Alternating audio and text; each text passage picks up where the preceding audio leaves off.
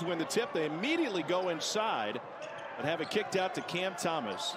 Best volume score in the league, and Cameron Thomas, the top scoring freshman in the country. And now LSU wanting to push it. A block by Reese.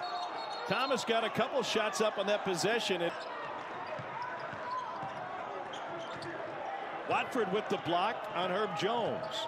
Offseason during the quarantine and the commitment to the film and understanding what they had to do on the defensive end. According to KenPom, 21st in offensive efficiency, 8th in defensive efficiency. If we had an NCAA tournament. Here's Cam Thomas for three. Went down after the shot, got the three, didn't get the whistle. First.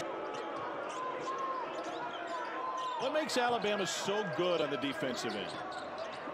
I think they've got great pride on their one-on-one -on -one defense. A fifth in the country in threes made per game.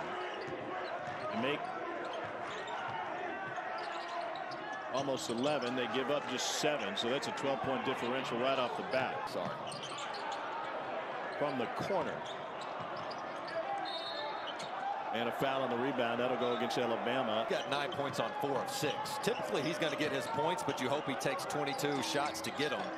And tonight, you see that, he's he just got it going.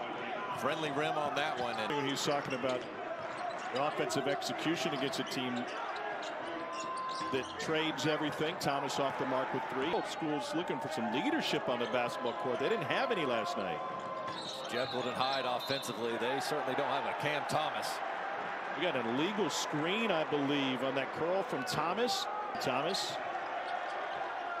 Shot clock in single digits. Wanted the foul on the drive. Under Nate Oats.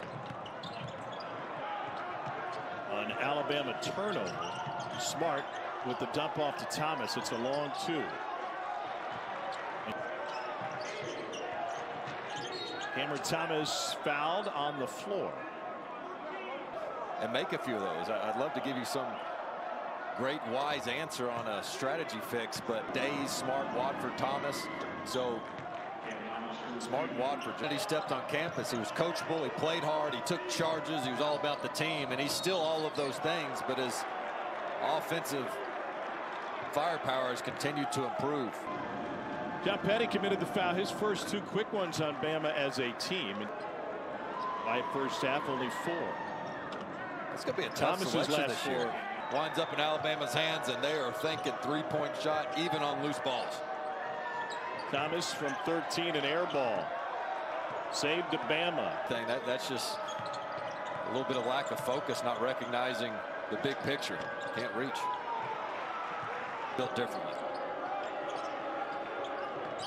Thomas went all the way out of bounds to get situated. Another miss. And then a reach in. This is uh, one of the things that happened to him in the Texas Tech game when he was struggling offensively. Well, they've got him frustrated here. I mean, defenders are just everywhere. They're chasing him off the pull-up jumper, building a wall defensively. There's Gary again. I mean, he's been all over the place on both ends of the court for Alabama, giving them a ton of good minutes. And Cam Thomas really been held in check since about the 10-minute mark in the first half. Reese from deep. What does Alabama miss with not having Bruner available?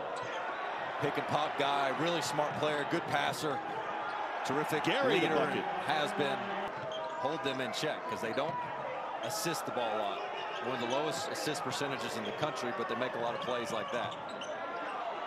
Thomas I think got hit on the shooting hand. Ed, maybe he's part of a plan.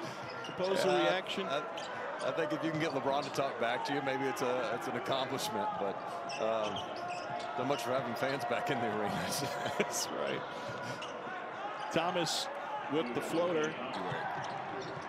And already had him as an 11 seed tonight.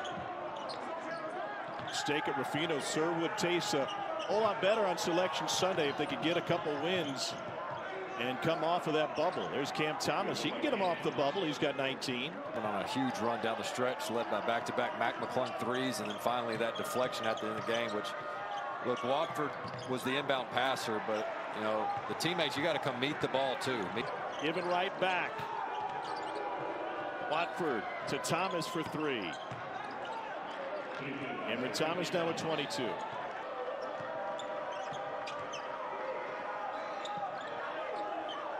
Thomas, why not? O'Neal kept it alive. Miles working on O'Neal. Goes hard into him. And that'll lead to an LSU run out, and that will not get off before the buzzer sounds. A 78 to 60 final. A much more pedestrian shooting night from behind the arc.